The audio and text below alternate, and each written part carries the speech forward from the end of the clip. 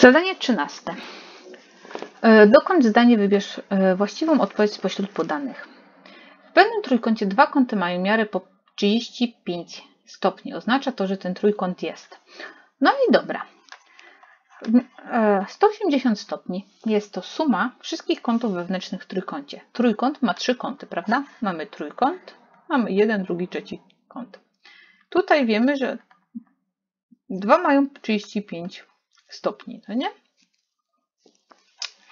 Więc musimy obliczyć, ile ma ten kąt. Czyli jest 35 stopni plus 35 stopni plus alfa, to nasza alfa równa się 180 stopni minus 70 stopni. Dlaczego? 35 plus 35 to jest 70 stopni. Więc alfa równa się 110 stopni. I tak, równoboczny, różnoboczny, ostrokątny, no nie bardzo. Różnoboczny, rozwartokątny, równoramienny, rozwartokątny, równoramienny, ostrokątny. Co tutaj jest istotne? Jak jest trójkąt równoramienny, ma dwie miary kątów takie same.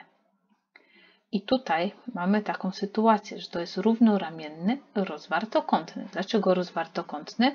Bo ten kąt alfa jest większy niż 90 stopni. Jak jest mniejszy niż 90, to wtedy jest ostrokątny. Jak jest równy 90, to mamy trójkąt prostokątny.